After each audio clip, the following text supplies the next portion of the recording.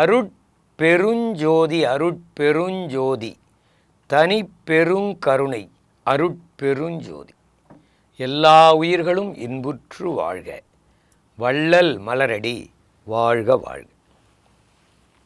இன்றைய சிந்தனைக்கு நாம் எடுத்துக்கொண்டுள்ள அருட்பெருஞ்சோதி அகவல் வரிகள் இரநூத்தி இருபத்தி மூணு மற்றும் இரநூத்தி இருபத்தி நாலு. இந்த அகவல் வரிகள் இதுதான். கூறிய கருநிலை குலவிய கீழ்மேல் ஆரியல் என உரை அருட்பெருஞ்சோதி இதுதான் இந்த அகவல் வரிகள். இதில் கூறிய என்ற வார்த்தை இருக்கிறது கருநிலை என்ற ஒரு வார்த்தை இருக்கிறது குலவிய என்ற வார்த்தை இருக்கிறது கீழ்மேல் என்ற வார்த்தை இருக்கிறது ஆரியல் என்ற வார்த்தை இருக்கிறது என உரை அருட்பெரும் ஜோதி. என உரைத்த அருட்பெரும் ஜோதி. என எனக்கு குறிப்பிட்டு காட்டிய அருட்பெருஞ்சோதி என்பதுதான் இந்த அகவல் வரி அப்போ இந்த கூறிய கருநிலை என்பது நமக்கு ஒரு கருநிலை முடிநிலை நடுநிலை ஆரம்ப நிலை நடுநிலை முடிநிலை என்ற நிலைகளெல்லாம் பல்வேறு நிலைகள் நம்முடைய உடலுக்குள்ளே இருக்கிறது. இந்த அண்டத்திற்குள்ளேயும் இருக்கிறது. இந்த அண்டத்தில் இருப்பது எல்லாமே நம்முடைய உடலுக்குள்ளேயும் அப்படியே அதனுடைய சிறிய வடிவமாக இங்கே இருக்கிறது. அங்கே இருக்கிற அண்டத்திலே நட்சத்திரம் இருக்கிறது. நம்முடைய உடலுக்குள்ளே நட்சத்திரம் இருக்கிறது. அங்கே சந்திரன் இருக்கிறது. இங்கே நம்முடைய உடலுக்குள்ளே சந்திரன் இருக்கிறது. அங்கே சூரியன் இருக்கிறது. நம்முடைய உடலுக்குள்ளே சூரியன் இருக்கிறது. அங்கே அக்னி இருக்கிறது. அக்னி என்ற அருட்பெரும் ஜோதி ஆண்டவர் தான் நம்முடைய ஆன்மாவிற்கு உள் ஒளியாக ஆன்மாவிற்குள்ளே இருப்பது அந்த அக்னி தான் அந்த அருட்பெரும் ஜோதி ஆண்டவர் தான் அதே போன்று அங்கே இருக்கின்ற பஞ்சபூத தத்துவங்கள். இங்கே நமக்கு மண் நீர் கா நெருப்பு காற்று ஆகாயம். இந்த ஐந்தும் இங்கே இருக்கிறது. நாம் நேற்றைக்கே பார்த்த மாதிரி இந்த உடலுடைய ஆக்கை வடிவு சிவலிங்கம் இந்த ஆக்கை வடிவு சதாசிவம் இந்த ஆக்கை வடிவு திருக்கூத்து இந்த ஆக்கையினுடைய வடிவு முழுக்கவே ஒரு கோயிலாக மூலஸ்தானமாக நம்முடைய உடலே அமைந்திருக்கிறது. உள்ளம் பெருங்கோயில் ஊனுடம்பு ஆலயம் என்று திருமந்திரத்திலே திருமூலர் கூறியிருப்பார். இப்படி நம்முடைய உடல் முழுவதுமே ஆகாயத்தினுடைய தொடர்ச்சியாக எல்லாமே இந்த உடலில் அடங்கியிருக்கு. அதற்கு ஒரு கருநிலை நடுநிலை முடிநிலை எல்லாம் நம்முடைய உடலுக்குள்ளேயே இருக்கிறது. அப்போ நம்ம இது இதையெல்லாம் கடந்து சென்று தான் நம்முடைய புருவ மத்திக்குள்ளே இருக்கிற ஆன்மாவிற்கு உள்ளே இருக்கிற ஒளி வடிவமாக இருக்கிற அருட்பெருஞ்சோதியாக இருக்கிற அந்த ஆண்டவனிடத்தில் நாம் சென்று கடந்து போய் தான் அங்கே நாம் இரண்டும் ஒன்றாக கூடிய ஒரு சூழல் உருவாக வேண்டும். இது இந்த உடலுக்குள்ளேயே நிகழ வேண்டும். இந்த உடலுக்குள்ளேயே தான் நம்முடைய ஆன்மீக தேடல்களும் இருக்கணும். நீங்கள் வெளியில் தேடுறதை விட்டுட்டு உள்ளுக்குள்ளேயே தேடினால் இந்த உள்ளுக்குள்ளேயே தேடி அருட்பெரும் ஜோதி ஆண்டவராக இணையும் பொழுது இந்த அண்டம் வேறு இந்த பிண்டம் வேறு அல்ல என்ற ஒரு பிரம்மாண்ட தன்மை நமக்கு ஏற்படும். அதுதான் அந்த பிரம்மாண்ட தன்மை தான் கடவுள் நிலை அறிந்து கடவுள் மயமாகவே ஆவது. அங்கே அப்புறம் சிற்றணு வடிவு பேரணு வடு பேரணு வடிவு என்ற வேறுபாடுகள் கூட கிடையாது. அதனால தான் இந்த அருட்பெரும் ஜோதி அகவல்ல கூறிய கருநிலை குலவிய குலவியன கலந்திருக்குது. இந்த நிலைகள் குலவிய கீழ்மேல் ஆரியல். இந்த கீழ் மேல் என்ற நிலையில் ஒரு ஆறு நிலைகள் இங்கே இருக்குது இந்த ஆறு நிலைகளுடைய ஆற்றல் என்பது தான் ஆறு இயல். இந்த ஆறு இயல் நடந்து கொண்டே நம்முடைய உடலிலே இருக்கிறது. இதை புரிந்து கொள்ளுகின்ற நிலையைத்தான் அருட்பெரும் ஜோதி ஆண்டவர் வள்ளல் பெருமானாரிடம் தெரிவித்ததாக அமைந்ததுதான் இந்த அகவல் வரி கூறிய கருநிலை குலவிய கீழ்மேல் ஆரியல் என உரை அருட்பெரும் ஜோதி. இப்போ நம்முடைய ஆன்மா இருக்குது இந்த ஆன்மா இருக்கின்ற ஒரு பகுதி தான் கருநிலை. இந்த கருநிலை என்பது ஆதாரமாக இருப்பது. அதே போன்று இது மேலே இருந்து கீழே போகும்போது இது கருநிலையாக இருக்கும். இதுதான் ஆதார நிலை. அதே போன்று கீழே இருந்து மேலே ஏறும் பொழுது கீழே இருக்கின்ற பகுதி கருநிலையாக இருக்கும். அதுக்கு பெயர் மூலாதாரம். மூலம் இருக்கின்ற பகுதி மூலாதாரம். அப்போ மூலாதாரத்திலிருந்து மூலாதாரம் என்பது கருவாய்க்கும் எருவாய்க்கும் இடைப்பட்ட பகுதியில் இருப்பதுதான் மூலாதாரம். இந்த மூலாதாரத்திற்கு அடுத்தது நம்முடைய தொப்புள் பகுதி.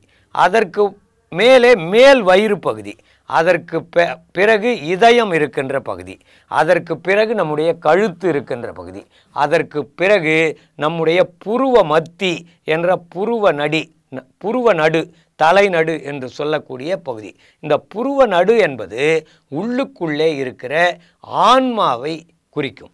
இதுதான் புருவ நடு. அது மேற்புறத்திலே சொல்வதை நாம் வாடிக்கையாக கொண்டிருக்கிறோம் அதுக்காக சொல்லிடுறோம். நம்முடைய ஆன்மா தான். அப்போ இந்த ஆறு நிலைகள் இதைத்தான் ஆறு சக்கரங்கள் ஆறு ஆதாரங்கள் என்று நம்முடைய முன்னோர்கள் குறித்து வைத்திருக்கிறார்கள். இப்போ இந்த ஆறு ஆதாரங்களின் வழியாக இப்போ நம்முடைய இதை கருநிலை என்று புருவ மத்தியை எடுத்துக்கொண்டால் ஆன்மாவை எடுத்துக்கொண்டால் அதனுடைய சக்தி புருவ மத்தியில இருந்து எங்கே வரணும்? ஆஞ்சையிலிருந்து விசுக்தி கழுத்து. கசு கழுத்துக்கு பிறகு அநாகதம். அது நம்முடைய இதய பகுதி. அதற்கு பிறகு மணிப்பூரகம். அதற்கு பிறகு சுவாதிஷ்டானம். அதற்கு பிறகு மூலாதாரம். இப்படி ஆறு நிலைகளை கீழ்நோக்கி பயணப்படுவது. ஆன்மாவினுடைய ஆற்றல் கீழ்நோக்கி வந்து திரும்ப மேல் நோக்கி அதற்கு பிறகு கீழ்நோக்கி இப்படி போய்க்கொண்டே இருக்கும். ஆன்மாவினுடைய பயணம் தொடர்ந்து நடந்து கொண்டே இருக்கும். இதன் மூலம்தான் இந்த தொடர்ச்சியான செயல்பாட்டுகளினால்தான் அந்த ஐந்தொழில் செய்யப்படுகிறது. இது ஆன்மாவிற்கு உள்ளே இருக்கிற உள்ளொளியாக இருக்கின்ற அருட்பெரும் ஜோதி ஆண்டவரால் ஐந்தொழில் செய்யப்படுகிறது. நம்முடைய உடல் ஆற்றலும் வெளிப்படுகிறது. இந்த உடலின் மூலம் நாம் செய்யக்கூடிய செயலுக்கும் அதுதான் ஊக்கம் தருகிறது. அதற்கு பிறகு ஆத கீழே இருக்கிற மூலாதாரத்தில் இருந்து மேலேறும். மூலாதாரம் சுவாதிஷ்டானம் மணிப்பூரகம் அநாகதம் விசுத்தி ஆங்ஜை என்ற அந்த நிலைக்கு மேலேறும். இதுதான் கூறிய கூறப்பட்ட பல்வேறு நூல்களின் வாயிலாக பல்வேறு அறிவு நிலைகளின் மூலமாக கூறப்பட்ட கருநிலை. இந்த கருநிலை என்பது ஆதார நிலை மூலாதார நிலை. ஒரு இடத்தில் மூலாதாரமாக கீழ்நிலையில் இருக்கிற அந்த ஆதாரம் மூலாதாரமாக விளங்கும். ஒரு இடத்திலே மூலாதாரமாக நம்முடைய ஆன்மா விளங்கும். அப்போ இந்த கீழ் மேல் ஆறியல் இப்படி கீழ் மேலாக ஆறு இயல் நடந்து கொண்டே இருக்கிறது. கீழ் மேலிருந்து கீழாக ஒரு ஆறு நிலை கீழிருந்து மேலாக ஒரு ஆறு நிலை.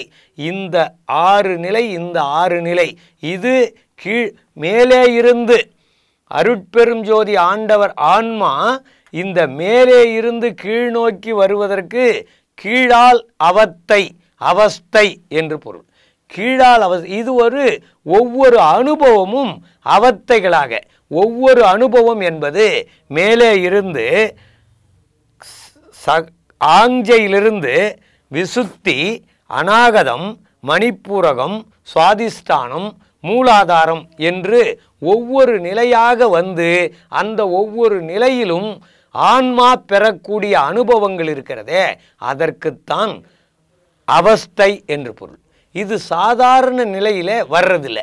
அவத்தை என்றால் துன்பம் என்று ஒரு பொருள் கூட இந்த இடத்துல அதற்கு துன்பம் என்று இல்லை அனுபவமாக. அது ஒவ்வொரு நிலையிலே பெறக்கூடிய மாற்றங்கள். அந்த நிலைகளால் ஏற்படக்கூடிய உடலிலே ஏற்படக்கூடிய மாற்றங்கள். இப்படிப்பட்ட நிலைகள் வந்தால்தான் நியாயமாக வந்தால்தான் நேர்மையாக வந்தால்தான் நம்முடைய உடல் இயக்கம் சீராக இருக்கும். நம்முடைய உடலிலே இருக்கிற தச வாயுக்களுடைய அமைப்பு சீராக இருக்கும். பிராணவாயுனுடைய நிலை சீராக இருக்கும். பிராணவாயுக்கள் என்ற அந்த பத்து நிலைகளும் சீராக இருக்கும். அதன் மூலம் நம்முடைய உடல் வலுவாகும். உடல் பிணி பெற்றுக்கொள்ளாமல் இருக்கும். இப்படிப்பட்ட நிலைகள்லாம் பெறுவதற்குத்தான் இந்த ஆன்மா கீழால் அவத்தை அவத்தையால் பாடுபடுகிறது. மேலால் அவத்தையால் பாடுபடுகிறது. அப்போ இந்த உயிரை பாதுகாத்து இந்த உயிர் ஆன்மாவோடு சேர்ந்து இரண்டும் ஒன்றாகின்ற நிலை எப்பொழுது ஏற்படும் என்பதுதான் இதன் மூலம் நாம் தெரிந்து கொள்ள வேண்டும். அதை ஏற்படுத்தி கொள்வதற்குத்தான் இப்படிப்பட்ட கீழால் அவத்தை மேலால் அவத்தை எல்லாம் இந்த உயிர்களுக்கு உதவுகிறது.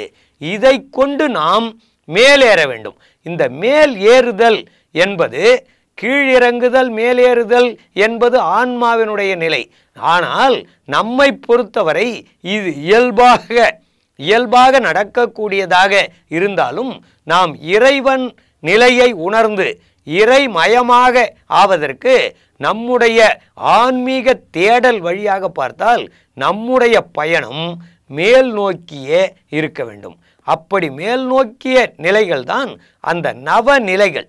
இது வந்து உயிர்கள் உள்ளே இருக்கின்ற தினசரி நடைமுறை. ஆனால் இந்த நவ நிலைகளை ஏறி மேலே கடந்து பதினாறு நிலைகளுக்கு அப்பால் உள்ள அருட்பெரும் ஜோதி ஆண்டவரோடு இணைந்து அருட்பெருஞ்சோதி மயமாகவே மாறுதலுக்கு நாம் நிலைகளை கடத்தல். இது ஆறு ஆதாரங்கள் ஆறு சக்கரங்களின் வழியாக இந்த உடல் இயக்கம் சீராக இருப்பதற்கான இயல்பாக இயற்கையாக உள்ள நிலைகள். இது நடந்து கொண்டே இருக்கும். அது தொடர்ந்து நடந்து கொண்டே இருக்கும். இந்த நிலை மேலேறுகின்ற நிலை எப்பொழுது ஆகும் என்றால் ஈர் எண்ணிலை என இயம்பு மேல்நிலையை நாம் அடைவதற்கு மரணமிலா பெருவாழ்வு அடைவதற்கு இந்த உடலை சுத்த தேகமாகவும் பிரணவ தேகமாகவும் ஞான தேகமாகவும் மாற்றிக்கொண்டால் இந்த அவத்தைகள் நமக்கு கிடையாது. அந்த கஷ்டம் நமக்கு கிடையாது. ஒரே எட்டிலே நாம் அந்த எட்டாக இருக்கின்ற இறைவனை அடைந்து இறைமயமாக ஆகிவிடலாம். அப்போ மேல் நோக்கிய பயணம் என்பதுதான் சுத்த சன்மார்க்கத்தின் பயணம். அப்படி மேல் நோக்கி பயணப்படும்போது கீழே இருக்கின்ற படிக்கட்டுக்கள் கூட கடவுளே எடுத்து விடுவார் என்ற ஒரு கருத்தை கூட வள்ளல் பெருமான் தெரிவித்திருப்பார். இதை கூறுவதுதான் கூறிய கருநிலை குலவிய கீழ் மேல் ஆரியல் என உரை அருட்பெரும் ஜோதி. இந்த ஆறு இயலுடைய தன்மைகளை நாம் புரிந்து கொள்ள வேண்டும். அதற்கு பிறகு மேல் நோக்கிய பயணம் நமக்கு ஏன் தேவை என்ற உணர்வு நமக்கு வந்துவிட வேண்டும். இது எல்லாம் இறை வடிவமாகவே இந்த உயிர்கள் இருக்கிறது. எனவே இந்த உயிர்களையே மதமாகவும் அன்பாகவும் அருளாகவும் கடவுளாகவுமே எல்லா உயிர்களையும் பார்க்க வேண்டும் என்ற கருத்துக்களையெல்லாம் உள்ளடக்கிய நிலைதான் இந்த கீழ்மேல் ஆறு இயல் என்று அருட்பெரும் ஜோதி ஆண்டவர் அதை வலியுறுத்தியிருக்கிறார். இதனை நோக்கிய அந்த புரிதலோடு நாம் செயல்பட வேண்டும் என்று சொல்லி நிறைவு செய்கிறேன். நன்றி வணக்கம். மீண்டும் நாளை சந்திப்போம்.